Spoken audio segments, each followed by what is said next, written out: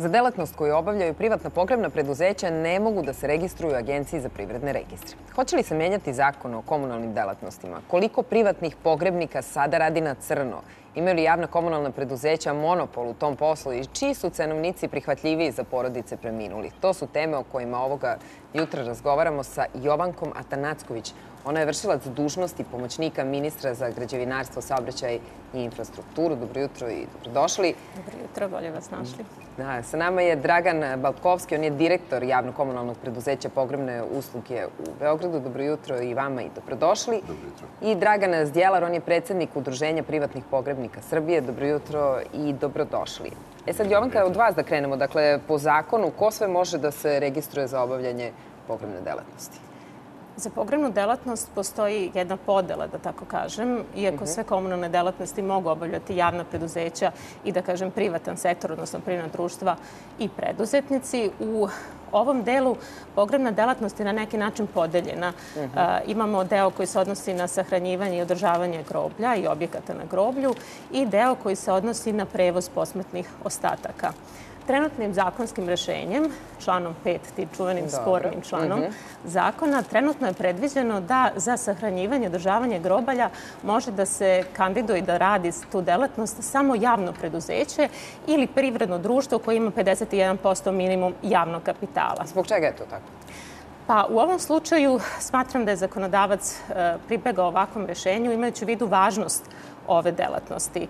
Uh, ovde se ne radi, istakla bih posebno o, nekom, o nekoj želji da se stvori neki monopol javnih preduzeća, već je ovo delatnost koja je od izuzetno važnosti za građane i ovde postoji uh, izuzetna potreba za brigom da se ova delatnost obavlja u skladu sa određenim razumem, standardima. zašto mislite da će privatno preduzeće manje da brine od državnog preduzeća? Ne mislimo tako i sada su trenutno uh, u toku izmene ovog zakona o komunalnim delatnostima. Radna grupa je obrazovana i uh, planira se do kraja ove godine da se ovaj zakon izmeni.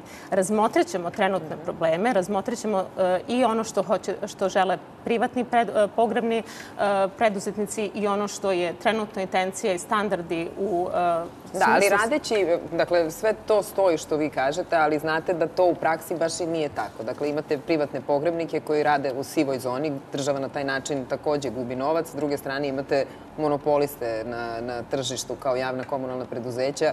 E, nekako mi se čini da se taj disbalans e, upravo u kvalitetu usluge trenutno pravi. Šta je vama, odnosno šta je nama, šta je državi cilj kako i na koji način da profitira od tog novog zakona koji je u predlogu? Ja bih e, iskoristila sve ono što kažete i složila se sa vama, sem ovog dela oko monopola i profitiranja. Ovde je profit briga, zato što su komunalne delatnosti nešto što je od izuzetnog e, Dobro, se značaja to za- naplaćuje? Komunalne delatnosti, komunalne usluge se naravno Pa napla- dobro, onda naplaćuju. nije samo briga, nego Ali je- znate kako, pa naravno, e, upravo i treba stvoriti određeni tržišni sistem. Razmišljamo o liberalizaciji ovog e, područja i ove delatnosti. Međutim, ono što je jako bitno jeste da i sada postoji mogućnost da privatna e, preduzeća pogrebna rade ovaj posao. E, ono što je isticano u e, javnosti, to je da oni ne mogu da se registruju, da ne mogu da obavljaju ovu delatnost. Da, ne mogu da registruju delatnost 9603 koja je klasifikacijom Ali, pogrebne dobro. usluge, ali mogu da je rade po drugim, delatno, po drugim šiframa. Kako vi radite? Dakle, kao, kao privatnik, kako radite? Pod kojom šifrom i da li uopšte radite na crno Da ili... vam kažem, u pretežno, ne, e, ta konstatacija da uopšte privatnici rade na crno je totalno besmislena. Vi imate 500 privatnih pogrebnika koje se koji su registrovani u gradskoj kapeli gde preuzimaju poklize. Znači, to je totalno absurd da neko može da radi na crno. Nijedno privatno preduzeće pogrebno ne može da radi ni da funkcioniše, a da ne plati porezi i doprinose do prvog, odnosno petog u mesecu. Ta konstatacija da svi rade na crno je totalno neprimjerena i absurdna. Dobro, a šta je onda vaš problem? E, Mi problem imamo sa ministarstvom, to je sa gradskom upravom i sa javnim komunalnim preduzećima, gde oni zakon tumače kako oni proizvoljno, znači što se odnosi na e, prevoz, što se odnosi na e, hladnjače i sve ostalo. Dobro, šta tu je vama sporno? Šta se tu tumači kako ne treba? Pa tumači se član 5 zakona o komunalnim delatnostima gde smo mi dali tu inicijativu uz Ustavnom sudu za ocjenu ustavnosti tog zakona. I pre neki dan smo bili kod Saša Jankovića, podneli smo inicijativu da nam se pridruži ovaj, za taj, tu ustavnost i tražili smo još neke dodatne ovaj, mogućnosti. Dajte mi konkretno, šta je to što vam ne odgovara? E, Koje mogućnosti? Šta ste tražili Pa- dodatno? Dakle, kako danas e, poslujete? E, Kakve su vam takse? Kakvi su vam troškovi? Kakve su vam usluge? Kako ih naplaćujete? Naše usluge su kvalitetnije nego u javnom preduzeću. Na osnovu čega to tvrdite? Pa na osnovu cena, usluga, kvaliteta, svega. Znači, to je prosto evidentno. Cena hladnjača... Šta kvalitetnije radite u odnosu na javno preduzeće?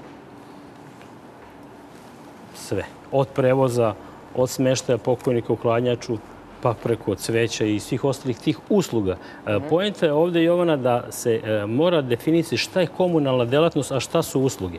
Vi u ovoj šifri 90.06, 96.0 ostale lične uslužne delatnosti.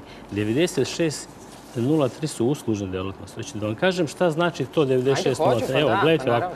Znači, 96.03 su pogrebne i srodne delatnosti koje obuhvataju sahranjivanje, spaljivanje ljudskih i životinskih leševa, prome- pripremu leševa za sahranjivanje, spaljivanje, balzamovanje, pogrebne usluge, usluge sahranjivanja i spaljivanja, iznajmljivanje opremljenog prostora za ceremoniju sahrane na groblju, iznajmljivanje i po- prodavanje grobnih mesta, održavanje grobova i spomenika, ne obuhvata izvođenje religioznih pogrebnih odreda, a, to je član 94-91 i uređivanje grobolja. Što znači da bi vi sad na Institutu za sudsku medicinu i vojno-medicinskoj ustanovi po ovom šifarniku zabranili da rade balzamovanje. A to su jedine dve institucije u ovoj državi koje mogu da rade balzamovanje. Znači, a to je totalni apsurd što se tiče 96. A vi imate sad u pravilniku koji je u javnom komunalnom preduzeću da bi zakazali sahranu ko nije registran sa šifrom 9603.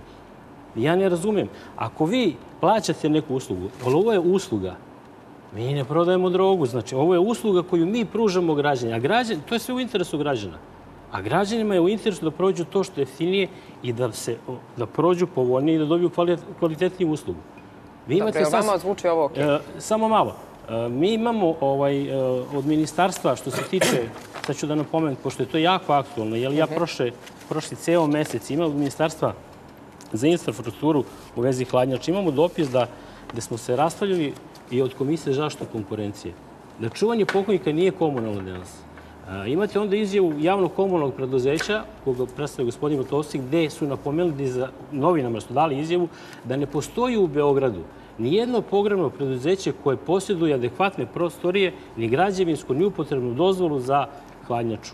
To prosto nije tačno. Ja ovde sam predao u ministarstvu i u gradskom sektaru za stambeni komunalne, gde imamo adekvatne prostore, građevinsku upotrebnu, tehnički prijem, ugovor o, o, o, o održavanju, sanitar, sve postojimo. Da. I vi, posle svega toga, vi ne možete da zakrište sahranu dok ne dovezete pokojnika na gradsko groblje. Što je da, razumem. totalno protivzakonito. Šta kažete vi na, na to? Protivzakonito. Jel mogu ja sad da, Da. postavim pitanje? Hvala. Evo, Šta kažete vi na to? Pa za početak opet bi se vratila na tu šifru 9603. Ono što je bitno, pogrebnici privatni mogu da rade svoju delatnost po drugim šiframa. Republički zavod za statistiku je dao mišljenje da njihova e, usluga pogrebnih e, prevoza po- pogrebnih ostataka spada u šifru drumskog prevoza i da mogu da se registruju sa tom delatnošću. Ovo što je gospodin nabrojao su uglavnom e, delatnosti koje su zakonom o komunalnim delatnostima trenutnim u nadležnosti javnih preduzeća, kako sam već rekla, i Da. privrednih društava sa javnim kapitalom od minimum 51%. Dobro, ali vidite vi i znate za naravno, ove probleme koje oni imaju. Ovo što je sada istaknuto nije problem koji smo se ovde skupili oko prevoza. Ovo su sada u pitanju hladnjače i čuvanje posmrtnih ostataka. A, gospodin posjeduje i mišljenje ministarstva gde smo a, se izrazili da u ovom trenutku po važećim propisima a, to čuvanje posmrtnih ostataka nije nabrojena kao jedna od komunalnih delatnosti. Međutim, svakako ćemo se složiti da je izuzetno važna i ovo je trenutak upravo za reakciju na trenutnom tekstu zakona. I to je ono što ćemo uraditi. Saslušat ćemo i predstavnike privatnih pogrebnih preduzeća i drugih, ne samo ove delatnosti. Postoje još delatnosti komunalne koje su zainteresovani da se nešto popravi u ovoj oblasti i to ćemo svakako učiniti novim izmenama zakona. Ta sve porodica mora da, da plati da bi sahranila pokojnika. Dakle, takse, usluge, koliko to sve košta bez pogrebne opreme? Bez pogrebne opreme e, to je definisano, te cene su definisane odlukom Skupštine grada i cenovnik tih osnovnih usluga i koji predstavljaju komunalnu delatnost oko koje se ovde sporimo i spotičemo, određuje dakle Skupština grada, odnosno osnivač javnog komunalnog preduzeća pogrebne usluge. Prema tome, te cene su definisane, one se menjaju na tačno utvrđeni način. Svake godine može, mogu da se menjaju do nivoa inflacije koji je predviđen Dobre, za narednu godinu. kolike su evo u ovom trenutku? Pa u ovom trenutku jedna prosečna sahrana iznosi onoliko koliko fond PIO daje za slučaj smrti nekoga ko je penzioner u ovom gradu, a to je oko 35.000 dinara. Znači, sa 35.000 Šta vam samo znači, izvinite, prosečna sahrana?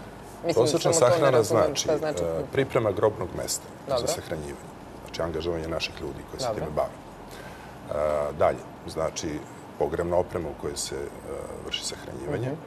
ili kremiranje i, naravno, prevoz, smeštaj, naravno, u hladnjače preminulih Mhm. i prevoz od kapele do grobnog mesta. Da. To su te osnovne kategorije i e, na bazi toga se formira cena prosečne sahrane. Naravno, u praksi se dešava da porodice iz razloga poštovanja prema svom preminulom Mhm. srodniku se odlučuju i za neki viši nivo usluge i naravno Šta- spremni su da plate veću cenu. Da, a šta to ne može da bude viši nivo Pa viši nivo usluge da to bude e, pogrebna oprema koja je skuplja, jer imate od 10.000 do 200.000 dinara, recimo, e, raspon.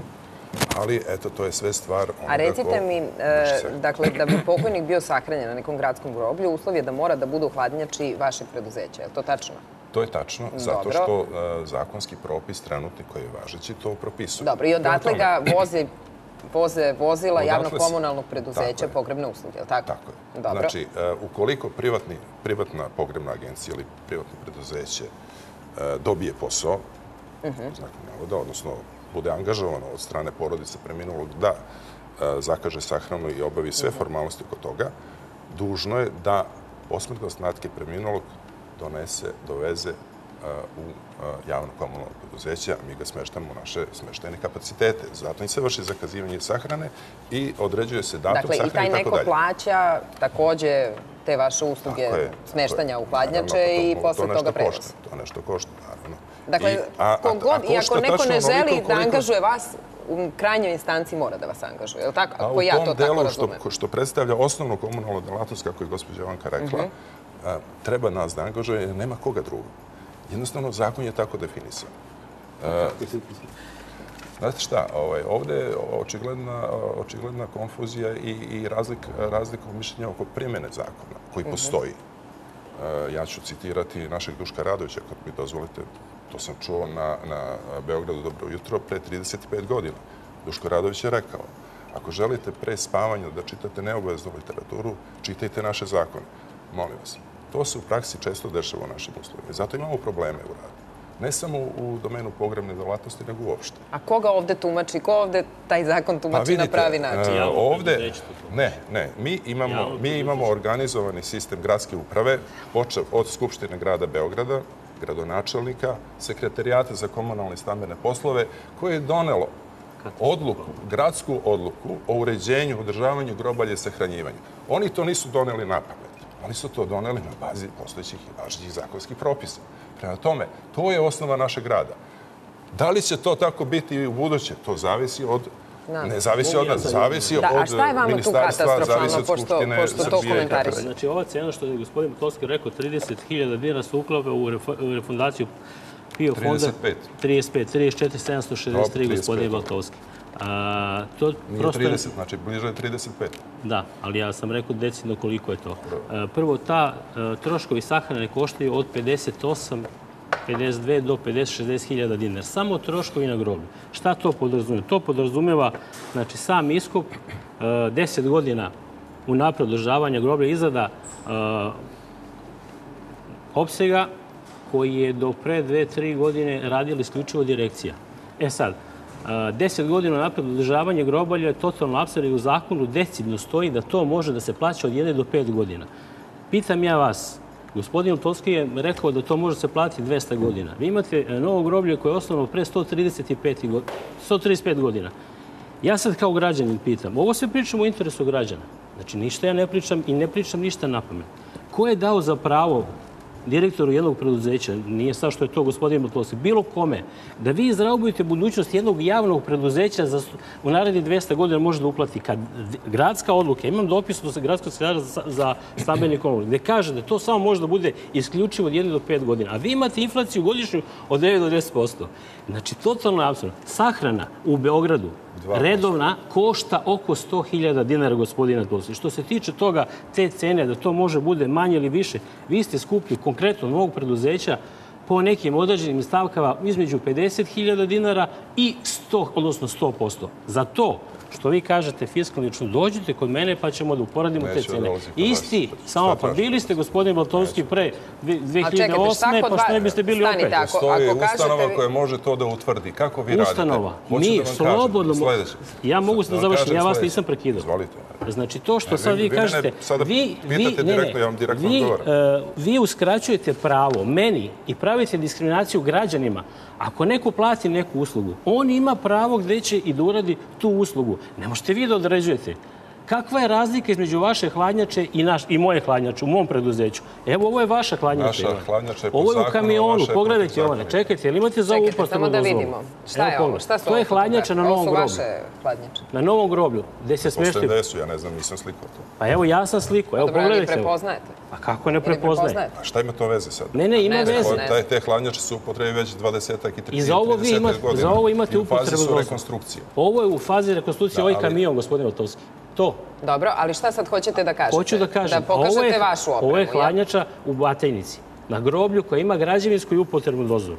Pogledajte, to je u kamionu, a ovo je u objektu. I Dobro. oni stalno nas prozivaju kako smo mi e, ne plaćamo porez, kako mi to držimo po šupama. To prosto... Koliko košta sahrana kod vas? Ajde mi sad recite, dakle ovde je Mi sad... ne možemo da utičemo na troškove koje groblje propisuje. Znači, oni naplaćuju jednu nalepnicu. Dakle, ako neko, čekajte, ako neko dođe kod vas sa željom da mu vi radite te pogrebne usluge, na kraju mora da završi u javno-komunalnom preduzeću, u hla, hladnjača se tamo iznajmljuje i posle toga se vozi do... Ne, to su uslovili od 19.12. Dobro, to znamo. 2014. Ali do tog momenta koliko koštaju vaše usluge? Do, do trenutka hladnjače, sve pre toga koliko košta kod vas? zavisnosti od sandika, ali to košta u toj granici koje PIO daje za jednu standardnu opremu da nijedan građan ne može da se postidi. Sve drugo A je koliko košta? 32-3 I hiljade. onda plus treba da se plati hladnjača i prevoz, je li tako? Plus se plaća ne. Mi, kao privatnici, mi možemo tu hladnjaču da naplatimo kao što naplaćujemo udruženu građana 500 dinara, a ne naplaćujemo je kao javno komunalno proizvodnje 1300 dinara. Vi, javno komunalno preduzeće, pokojnik koji se prenese iz zdravstvene ustanove kod njih i koji se odmah preuzima, u računu svakom, to je sve dostupno. Tamo lepo piše upotreba hladnjače 24 sata, čovjek nije bio 3 minuta. Znači, nalepnica koju mi kao, kao svaki privatnik, kao, član, kao udruženje građana, mi naplaćujemo to besplatno. Svaka ta nalepnica... Mislite, ne naplaćujete Ne naplaćujemo. Oni svaku tu nalepnicu naplaćuju 500 dinara. Da Dobro, ali šta vi, šta vi sad e, kažete na to? S obzirom da imamo, da imamo, ovo? Da imamo vidite. situaciju Dakle, da, da je poprilično konfuzija i sad nisam sigurna da uopšte jedan građanin koji, kako da vam kažem, svi, svi ćemo kad tad imati tu vrstu, tu vrstu potrebe za, za tim uslugama. E, Dakle, šta vi kažete građanima? Kod nas je bolje nego kod privatnika, zašto? Mi ne kažemo bolje. Nego? Mi kažemo da radimo po pravilima ove zemlje. Znači ove države, po zakonima ove države.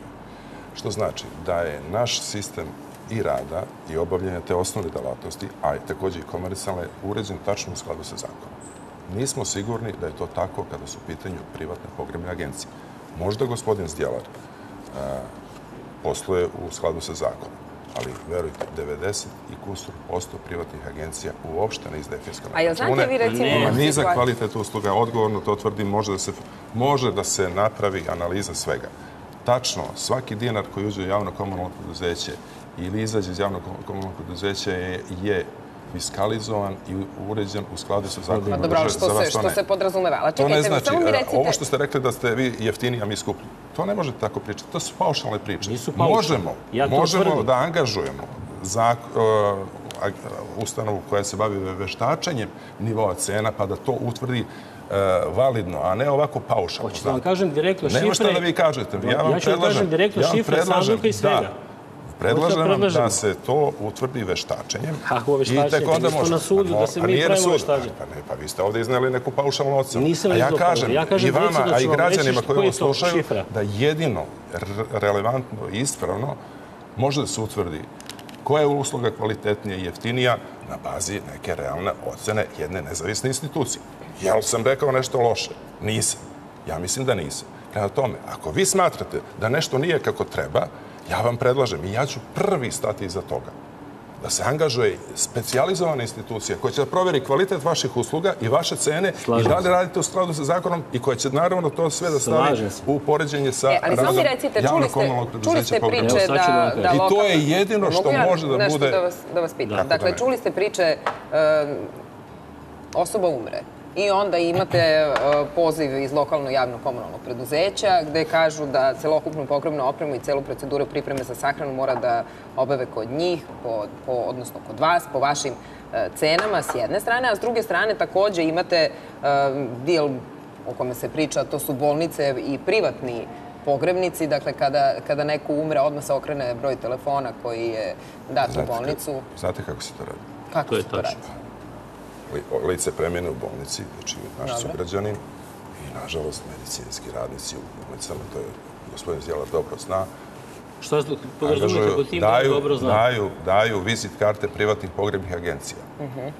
I onda čak se i dešavalo da privatna pogrebna agencija dođe na vrata stana porodice preminulog pre nego što porodici dobije informaciju da je lice preminulo. Ima i takvih slučaja, molim vas. To je opšte poznata stvar. I to treba isto tako da a, se stavi pod lupu i specijalizovanih ustanova. Zašto to rade a, pojedina lica u zdravstvenim ustanovama? Zbog interesa. Javna je tajna da je Šta se da je- dobije da je- neki da je- da je od privatnih pogrebnika? Naravno. Hoćete da vam kažem i cifre? Hoću. Između 100 i 200 evra. To je Za to. telefonski poziv, jel? Ne, ne, ne, za usmeravanje Pa porodica ka privatniku. Između, da, da. Jel nešto pričamo? Gospodin Valtovski. Između 100 i 200 evra to košta. Slažem to košta se. porodicu. I vi kažete da ste jeftini. Pa 200 evra je... Gospodin Batovski, samo malo. 200 evra je već porodica dala tako što je ću da privatnika bez svih da drugih od vas troškova. jeftini koliko Molim su. vas, 2008. niste sigurni. godine, gospodin Niste, evo, ja vam kažem kako to možete da da utvrdite. Mi možemo ovde do ujutru Ne da do se ujutro, evo, prepucavamo. građani su tu i slušaju. Ne da kažem. Samo specijalizovana ustanova za utvrđivanje kvaliteta i nivoa Ne, cena i poređenje tih evo. cena može da kaže tačno, Da ću- istinito. da vam kažem. A vi to što kažete Moja- je vaše ne, ne, privatno A da li tačno Ja za ne kažem lokalnu niti, ni da smo... samoupravu da poziva, Jovana. da, da lokalna samouprava poziva članove mi- porodice da... Mi imamo tradiciju 130 godina sledeće godine. Pa dobro, Verujte, pozivate vi verujte. članove porodica preminulih. Porodice zovu nas. Naši telefoni su dostupni javni su. Molim vas, porodica poziva nas. Pa kako mi znamo da se, da Čekajte, se desio gospodine smrtni Valtovski, slučaj? jel mogu ja da kažem zašto smo mi jeftiniji od vas? ja sam dobio Čekajte, pitanje. jel mogu da kažem? Čekajte, pa Ajde. šta sa, zašto vi sad ulazite meni u red? Dobro, ja sam dobio pitanje se, od gospođe se. Jovane, E, izvinjavam se. sedim između dve Jovane. Ne, ne, izvinjavam se, evo, ovaj, sad ću treba da da odgovorim. Znači, da naši telefoni su dostupni svima. Tradicija našeg preduzeća je sledeće godine 130 godina. Prema tome, milion slučajeva ima pohvale naših usluga i što se tiče kvaliteta i što se tiče cena. To mogu odgovorno da tvrdim. To što vi kažete, to je čisto radi Pa toga, radi vašeg da- ličnog interesa i Ne, ne, interesa vaše firme. Ja to, ja to razumem, ja to ne moram da prihvatim i to je to. ja ovo radim Znači, to su, to su činjenice realne. I to može da vam potvrdi 95% građana ovoga grada. Sad ću da vam ja kažem. E, tako Šta da će još građana po 90% građana što vi kažete? Prvo Da. da vam kažem, ja radim ovo 24 godine. Odmah da Ovo kažem. preduzeće radi 130 godina. Slažem se. E, ja kad sam radio ovo delo, vi to niste radili. To je potpuno... Koliko imate slučaja da ste zamenili pokojnike, da ste ih pogrešno sahranili? Samo malo. Što se tiče te konstatacije, da kažete da ste vi... Ali na bazi, ali na bazi pogrešne da identifikacije od strane Ne, privatnih nije agencija. tačno. Pa, ovo je Nemojte da pričate zadnji molim slučaj koji je bio. Zadnji slučaj vi ste vaš, vaš pravilnik ste prekršili, niste ga dobro sproveli. Vaš radnik nije pitao stranku u kojoj bolnici je preminuo pokojnik i tako je to nastalo. I onda je Samo porodica pogrešno. Što se tiče identifikovala toga, sa- što se tiče toga da smo mi Znači, skupi... porodica koja je angažovala privatnika. Gospodine, Molim vas, pričamo Gospodine istinito. Baltovski, nema veze koga vi, vaše procedure, vi ste propišali proceduru. Da vi niste, da nema te procedure, da nema tog monopola, taj pokojnik bi bio iznet od strane pogrebnog preduzeća nekog drugog i doveo bi ga u svoju. Mnogo Nikad se to ne bi desilo. Mnogo više Motovski, zabuna u privatnim pogrebnim agencijama. Nemojte, Mogu vam navesti molim vas, bar pa pet. Vi ste nemojte naveli da jedan slučaj. Samo Ja da vam mogu kažem, navesti pet. Vi ste bili da kod sam- mene 2008. godine sa vašim pomoćnicima. Pogrešio sam što sam došao, znate. Zašto ste pogrešili? Pa nešto ste naučili, nemoj da se ljutite. Naučio sam, naučio sam kako ne treba da radim. Hvala vam na tome. Pa da. Šta ste naučili? Naučio sam kako Pa ne jeste, treba da zato radim. sam vam pokazao da vi iznosite jednog pokojnika, vas šest.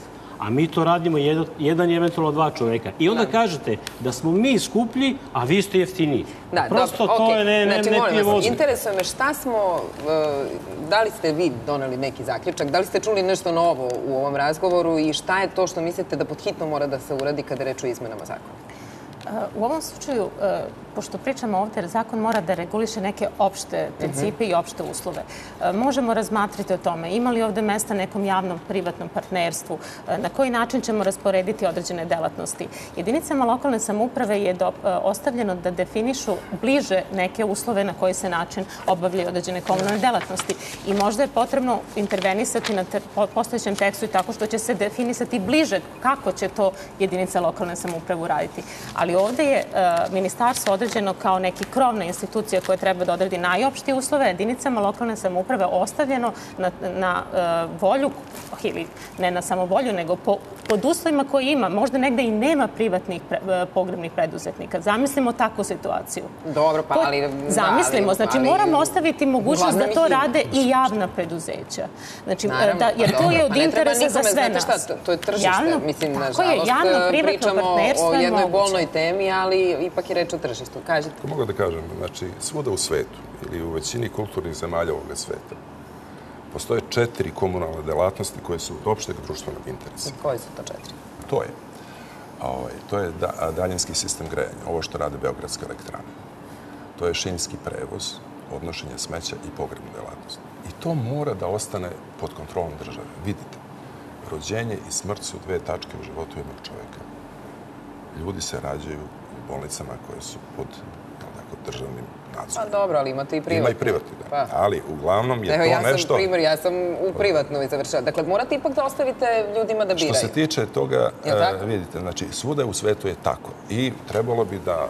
Srbija bude deo sveta, bar u tim osnovnim e, Znate šta, kao, posle, kao, kao, I uh, osnovnim firma i kao života. preduzeće sa tradicijom od 130 godina, nekoliko puta ste isticali Da. to, mislim da nećete, da, mislim da nećete imati problema ako budete imali na tržištu konkurente, jer Naravno U da tom nećemo. poslu Samo ste mnogo mogu da duže od kažem, njih. ako mogu da kažem, ako njihovo poslovanje bude ustrojeno 100% u skladu sa zakonima države, znači ukoliko poštuju obavezu plaćanja poreza i doprinosa, ukoliko imaju prijavljene radnike, Pa to se podrazumeva, sad pričamo o tome da li- da li bi neko trebalo a da sada, radi Sada legalno. to nije slučaj. Sada je drastičan primer, znači dra- drastičan primer sive ekonomije u pogrebnoj delatnosti upravo iz ovih razloga. Niti plaćaju porez i doprinose, niti imaju prijavljene radnike, nemaju odgovarajuće sredstva za rad, ne pridržavaju se zdravstvenih i sanitarnih uslova rada, što možda predstavlja potencijalnu opasnost za A nemojte, bez bezbednost građana i tako dalje. A recite to- mi samo za kraj, koliko imate zaposlenih? Pet, Dobro, prosek plata vam je koliki? 40.000. Dobro, i na tih I pet... redovno plaćamo poreze i doprinose i sve. I da vam kažem, e, moje radnice koje rade kod mene 20 godina su i jedna i druga ovaj, rodile decu. Znači da im nije dobro, davno bi otišlo. Dobro, samo hoću da vas to pitam, dakle, sa petoro zaposlenih, jel Da. možete da taj posao obavljate kvalitetno? Možemo, zato što Koliko vi imate sve- zaposlenih? Trenutno 400 redovno zaposlenih i 150 preko, Preko- privremenih i povremenih poslova. Inače, To je preduzeće... 600 ljudi naspram... naspram pet. Da, Sad, prosek plate je 45.000, da kažem nešto malo veći nego kod Da vam kažem jednostavno, to oko, mnogo je diskutabilno što se tiče tih e, vaših zaposlenih, da imate ovaj, 200 zaposlenih. Ne znam kakvu ste mašinu kupili, gospodine Motovski, da zaposlite 200 ljudi. Znači, uglavnom su samo to... sam to htela za Samo kraj. malo Mnogo vam hvala. Da, ne, pa Dobro. imam, imali smo, mislim, dovoljno vremena, pola sata. Znate, kad imate hvala na- 180 na- ljudi zaposlite, morate imati mnogo... na vremensku prognozu. Dobro, Marija.